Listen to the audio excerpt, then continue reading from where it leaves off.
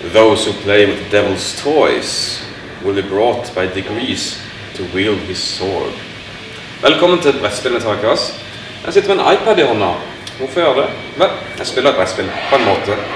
Dette her, det er XCOM, dataspillet. I XCOM eh, skal du beskytte verden mot en innkommende trussel fra verdensrommet. Så romvesener ønsker å ønsker å ta over eh, eller ødelegge oss. Jeg er ikke helt sikker på motivet ennå. Det er min jobb å stoppe de å gjøre det. For det de gjør, det er å drepe oss og, og torturere oss og eksperimentere på oss. Det liker vi ikke. I, så, i videospillet så er det ganske taktisk. Og jeg skal vise litt først, og så kan vi gå til brettspill etterpå. Hello, Commander. In light of the recent extraterrestrial incursion, this Council of Nations has convened to approve the activation of the XCOM project. You have been chosen to lead this initiative, to oversee our first and last line of defense. Your efforts will have considerable influence on this planet's future. We urge you to keep that in mind as you proceed.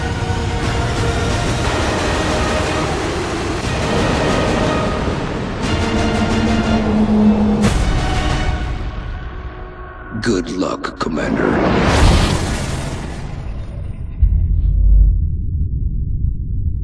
Men akkurat nå så må jeg bare flette meg helt rundt, og så finne aliens.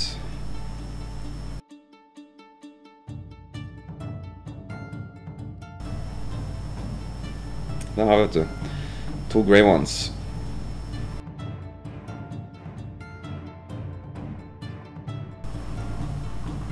Etter min tur så er det da Alien sin tur. Så Alien Activity. Nå gjør de alt sitt. Og jeg må bare stå og se på mens de gjør det de gjør. Så nå vet jeg at han har Overwatch, så jeg bør ikke bevege meg før han er tatt ut. Og heldigvis så bommer han.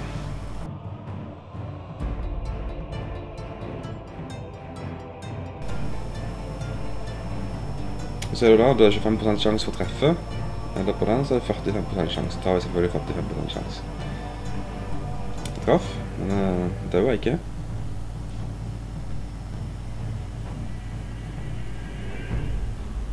Ok, dette er da uh, hovedmenyen. Det vi kan gjøre, det er å gå på research på filmen. Så kan vi forske på nye ting som vi har oppdaget underveis. Og dette koster penger, det koster tid. Så har vi ingeniør. Vi kan bygge ting. Som f.eks. Medic Kit eller nye satellitter. Satellitter er veldig viktig for å holde kontroll på planeten. og passe på at panikken ikke blir for stor, for hvis vi har kontroll, så går også panikken ned fordi vi har kontroll. nettopp derfor.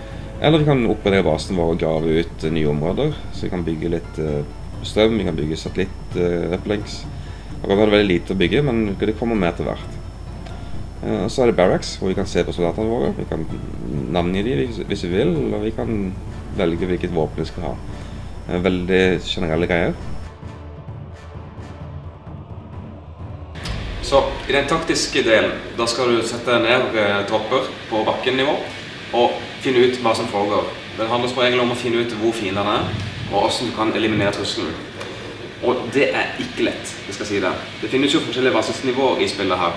Og hvis du spiller på classic, så er det ganske vanskelig. Det er nesten umulig. Spiller på easy, så går det greit. Men classic, som er det gøyeste, hvis ikke du spiller på insane, hvorfor vil du gjøre det? Så er det iallfall fall en utfordrende opplevelse. Videospillet er for det meste taktisk. Du har den økonomiske biten, og du har forskningsgreiene og sånn, men det er så bitte lite av spillet. Det er taktikken det går på, det er turbasert, du har lite tid å tenke deg om. Du må gjøre gode valg, og du må bare gamble på at du treffer når du skyter. Derfor er det litt rart at de har valgt å gå fra et taktisk, turbasert skytespill til et real-time, ikke-taktisk økonomispill. Med terninger, riktignok. Jeg er litt spent på hvordan det funker. Vi sjekker ut XCOM The Board Game. Ja, det ser ganske bra ut. Grafikken er helt lik som i videospillet, så de har fått samme lisens. Det er veldig kult. Da får du en veldig fin connection mellom det. Eh, og så er det brettspill, så du går vekk fra den fysiske verden. Ja, jeg vet det står en iPad ved siden av meg, og den må du ha. Du enten en iPad eller en annen smart tablet eller en smart telefon som har appen og støtte for det. Eller du kan ha PC-en som kan bruke programmet som kan gå via internett. Så du må ha internett i så tilfelle. Så de har valgt å gå fra videospill og til videospill. Men du kan ikke spille med bare appen alene. Nei, du må også ha brettet, og du må ha komponenter, du må ha alt det her. Og begge ting henger godt sammen. Det ene avhenger av det andre. Da er jeg litt spent på hvordan det funker. Eh, Spillet funker for fire eller én. Du kan være én, to, tre eller fire spillere, så du kan spille alene. Så da er det selvfølgelig et samarbeidsspill.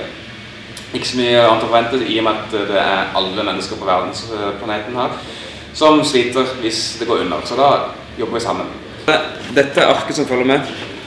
Og det er det du kan laste ned også. Det er fire små ark som viser oppsettet av brettet som er likt hver eneste gang. Ellers så må du bare trykke på appen. Så da sjekker vi ut appen hvordan den funker. Play. Ja, det er Avhengig av antall spillere så er det bare hvor mye tid du får til, å, til gode. Hvis du er én spiller, så har du litt mer tid per ting. For tingen her er at hvert, eh, hver oppgave du får, så får du så og så mange sekunder på å fullføre oppgaven.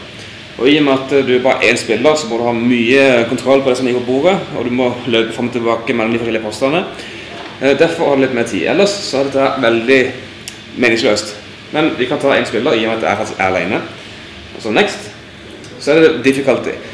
Tutorial den, den må du gjøre hvis ikke du kan spille. Du må gjøre den, og den viser trinn for trinn hva du kan gjøre. Det gjør jeg ikke nå.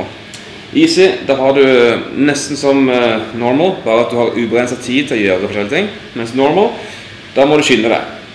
Så jeg skal ta easy nå, for jeg tror nok jeg må pause litt underveis. Eh, sånn. I og med at jeg skal lage en video. Og så kan du få valgt et eh, opptak for deg, 1 av 6, eller du kan velge selv. Så ta infiltration. Det høres gøy ut. Da skal vi bygge deks. Spillet kommer med en drøss av alien-kort. Det er rommester som er trusler som kommer til å gå inn mot basen vår.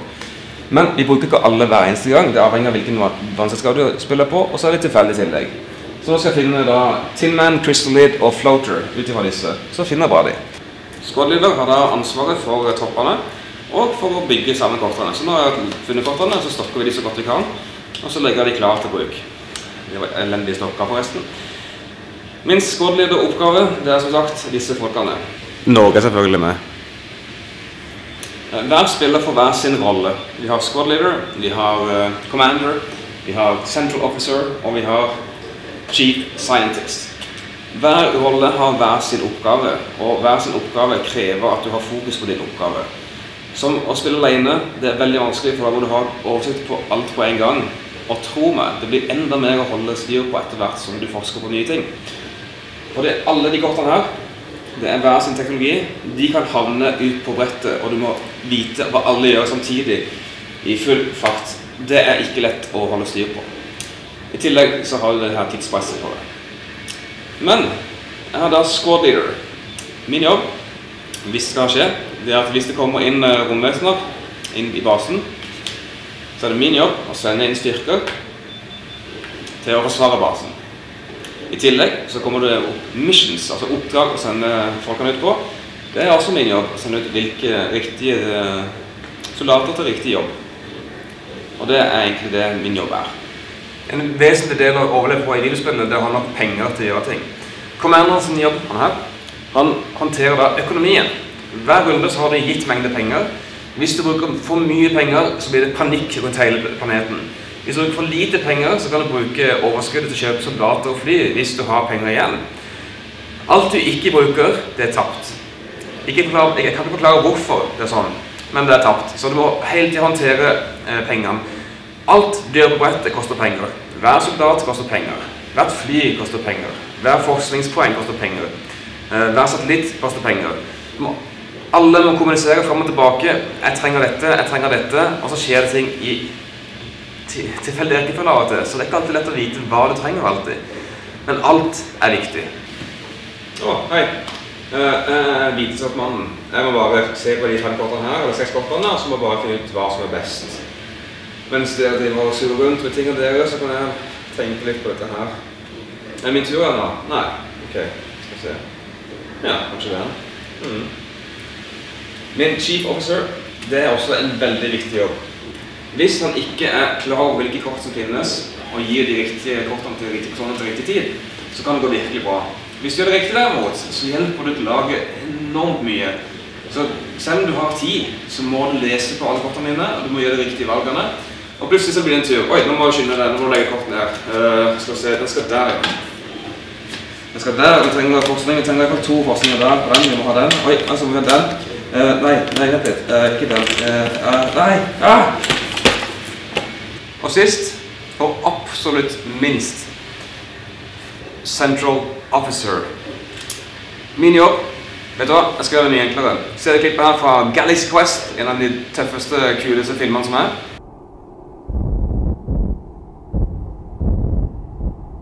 Forward thruster shaft, 87% damage. Aft vector guards, 96% damage. Structural breaches in quadrants 32, 34, 40. Whoa, whoa, what, uh, what about the engines? Forward thruster shaft, 87% damage. Computer, what about the engines? Why don't we have power? The beryllium sphere has fractured under stress. It's fractured. Can it be repaired? Computer, can it be repaired? Damage to beryllium sphere irreparable. New source of beryllium must be secured. We need another one. You broke the ship. You broke the bloody ship. Uh, yeah. Uh, computer, is there a, a replacement beryllium sphere on board? Computer, is there a replacement beryllium sphere on board? Negative. No reserve beryllium sphere exists on board.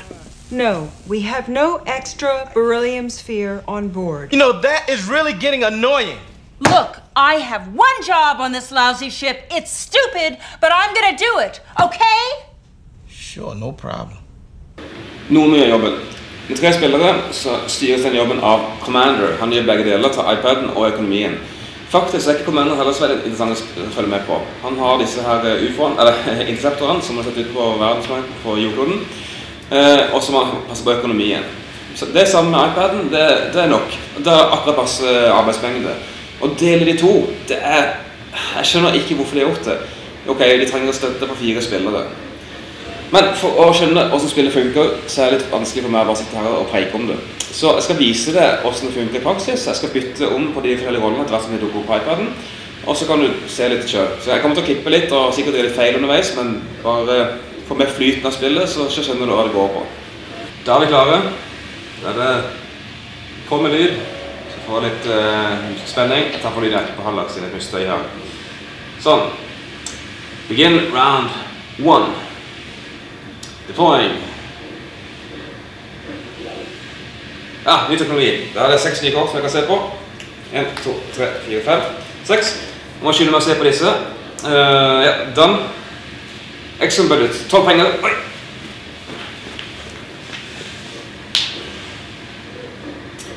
Fem. Ti. Tolv. Ja. Uh, skal vi se 22 sekunder. Ok, jeg har litt, tid på meg. Um, choose mission. Uber crash Shite. Uh, bare to kort her. Skal vi se. Ja, den tar vi. Den tar vi. Sånn.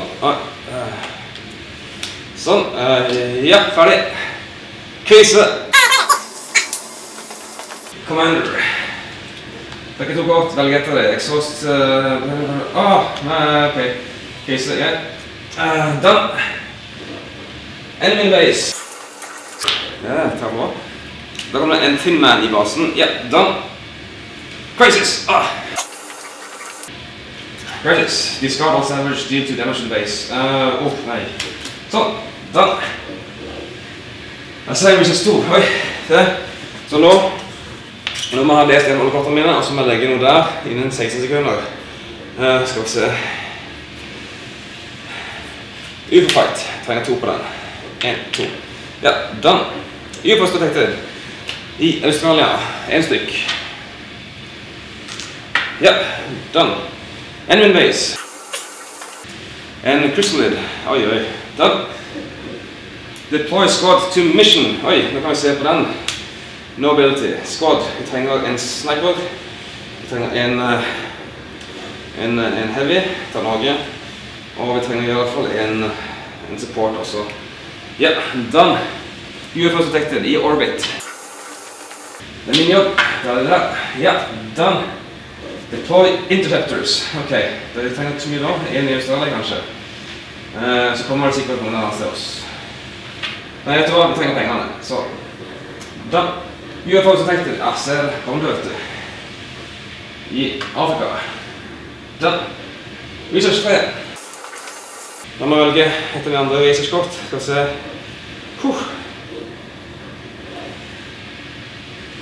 Ja, den er fin. Den må jeg ha. Den må jeg ha tre på. En, to, tre.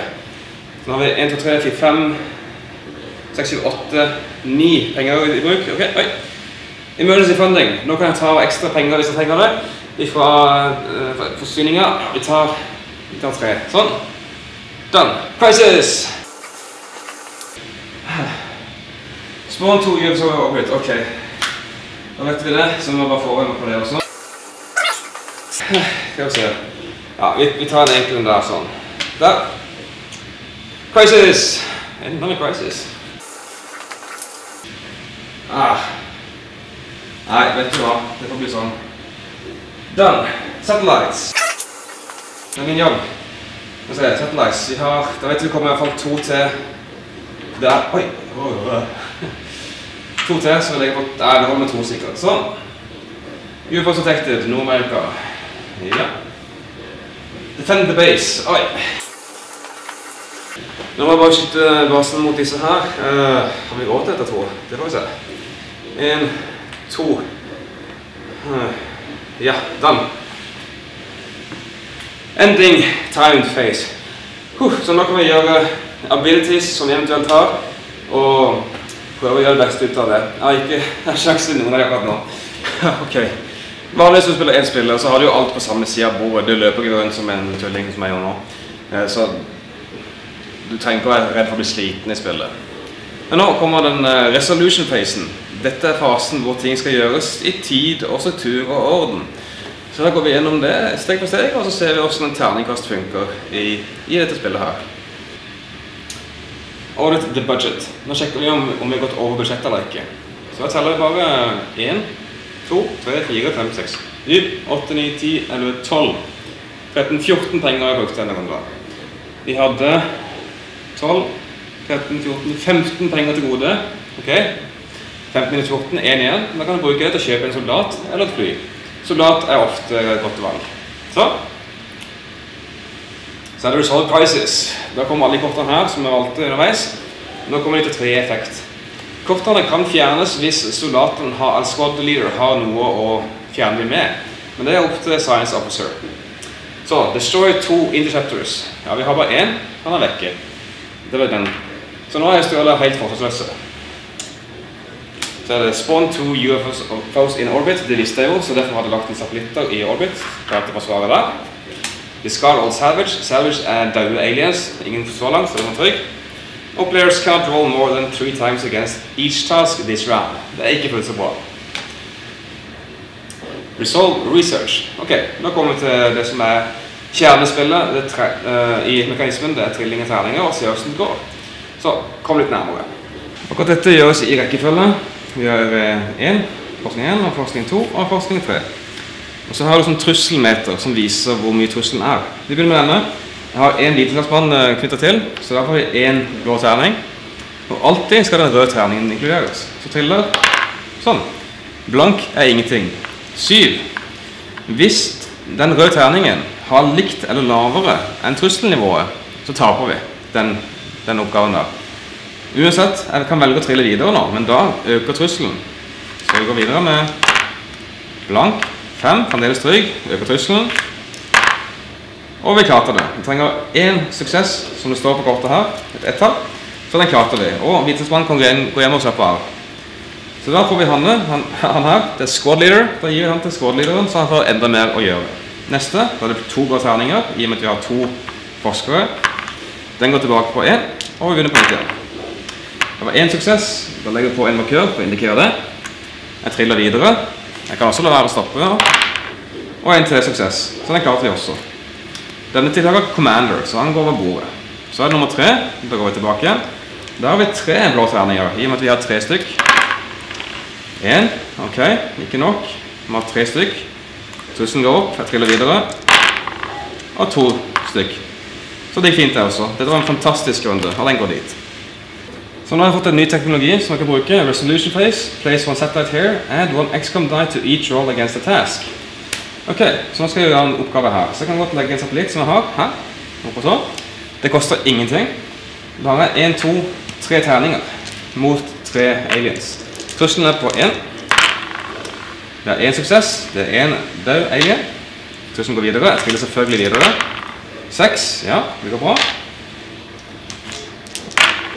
Og syv. Det gikk også veldig bra. Så ingen problem. Da går vi til neste fase, som er global defense, men der har vi jo ingen uh, interceptors, så den hopper vi rett over. Og så øker trusselen for hver UFO som er på de forskjellige kontinentene. I tilfelle Nord-Amerika 1, Afrika 1 og Australia 1. Dette er kontinentene og starttrusselen det er i. Dette er litt, litt panikk, mens det røde her, det er masse panikk.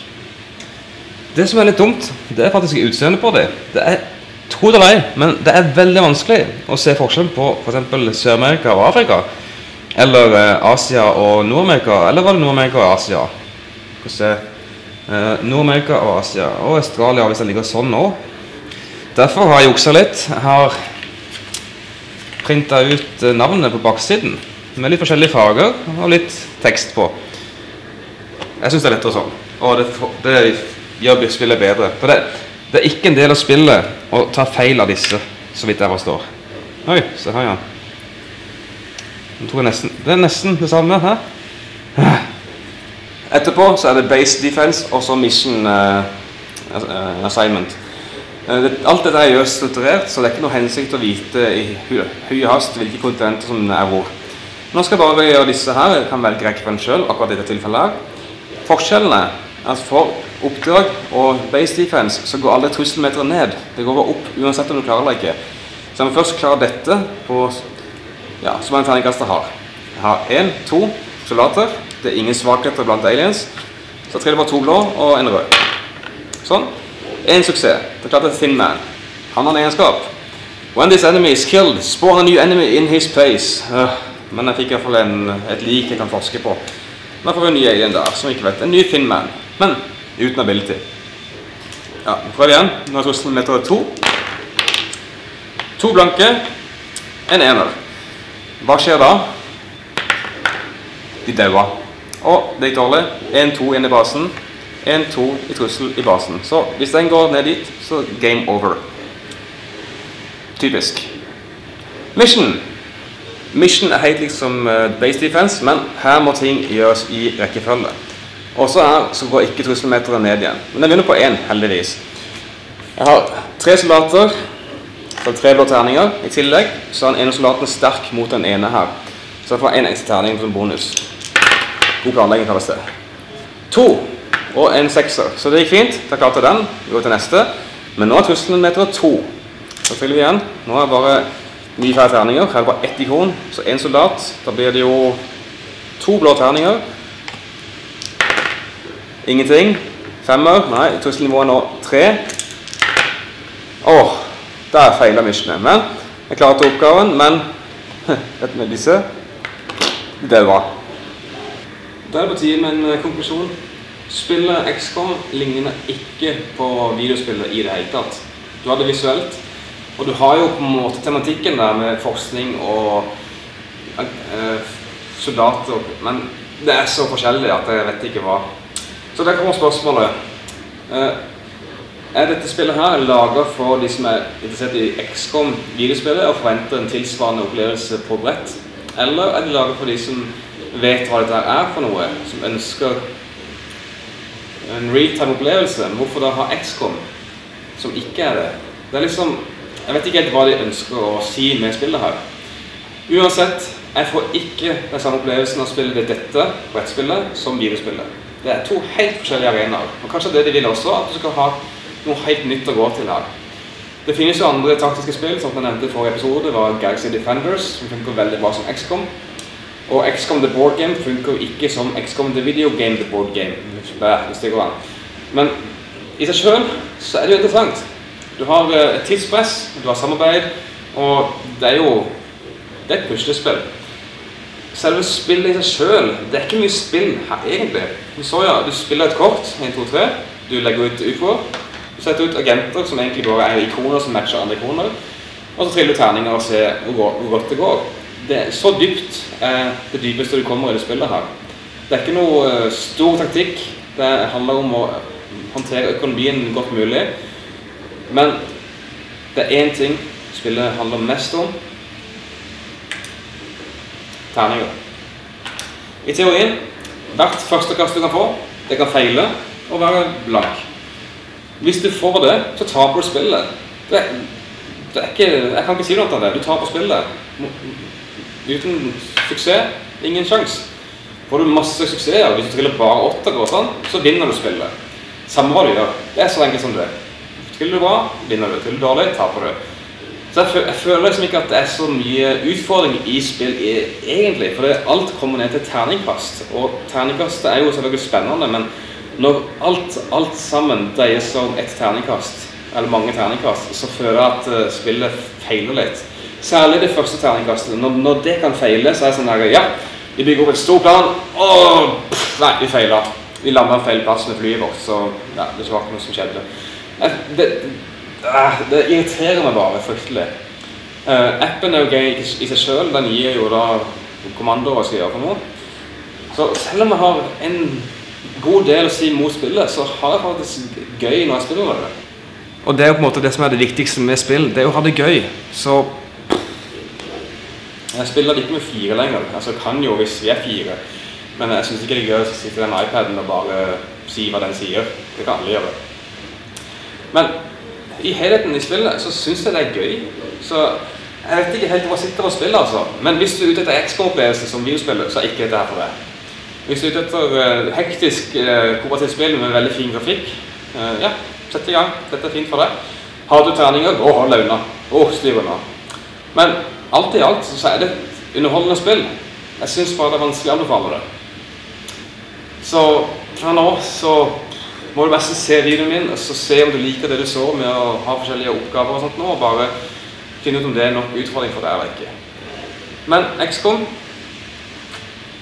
Du må velge sjøl. Jeg kan ikke anbefale det. Jeg kan heller ikke ikke anbefale det. Men ok, takk for at du så på i hvert fall. Og så håper jeg å se deg neste gang i, i Brettspill med takglass.